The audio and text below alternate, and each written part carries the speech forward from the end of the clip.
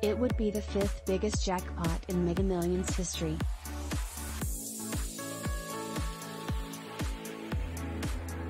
If there is a winner, the prize could be taken in annual payments over 30 years or as a lump sum of $359. 7 million in cash, Mega Millions says, though the numbers are all but certain to grow as people flock to buy tickets. Tuesday's winning numbers were 2, 31, 32, 37 and 70, with the last ball being 25. There were four match 5 winners Tuesday night, in Arizona, California, North Carolina, and New Hampshire.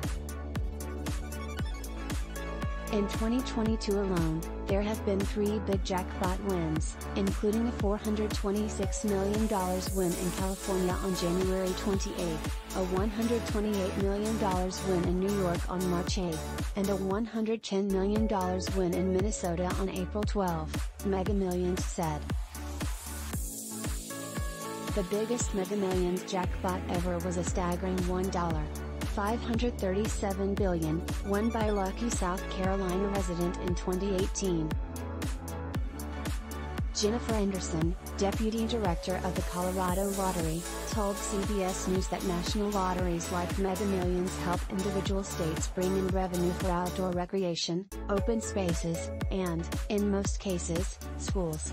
In many states, the most common is education, either in the form of scholars,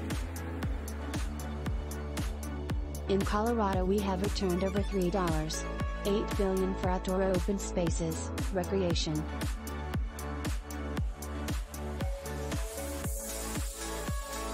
We just bought two new state parks, and that's important because Colorado population continues to grow and it is outpacing the amount of open spaces we have for people recreating. In Mega Millions Lottery thanks for reading CBS News. Create your free account or log in for more features. Please enter email address to continue. Please enter valid email address to continue.